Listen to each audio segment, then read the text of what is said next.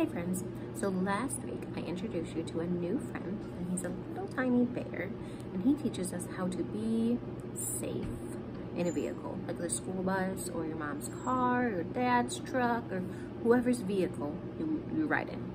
So he taught us how to be safe and he showed us a little poem. So first, here's Buckle Bear, right? He's got his seatbelt on and he said, I like my seatbelt nice and snug. It feels just like a great big hug. I make it click so the driver will know I'm buckled up and ready to go.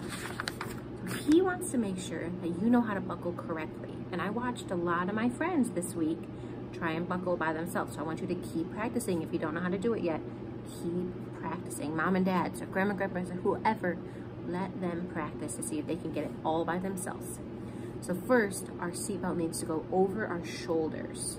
Can you find your shoulders? Here's your shoulders. So the seatbelt needs to go over your shoulders. And you have two clicks. You have a click right across your chest. It goes right here. It goes clicks together.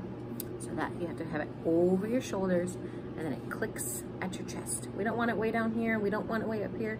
Right across our chest. And then we have one more click and the belt goes around our hips, right here, around our hips, two hips, and then connects at our thighs. And here's our thighs right here. So then our next one clicks right here, right at our thighs. We have to listen for it to click. So we have one click at our chest and one click at our thighs. So here is how Buckle Bear's little poem goes today. This shoulders on top to the thighs below. This is where your seatbelts go. Shoulders to thighs, that's the way. Shoulders to thighs, hip hip hooray. Buckle your seatbelt nice and snug. It should feel like a great big hug. Shoulders to thighs, that's the way. Shoulders to thighs, hip hip hooray!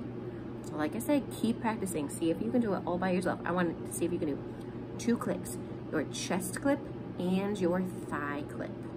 Try it out and then let me know if you can do it all by yourself. I bet you can.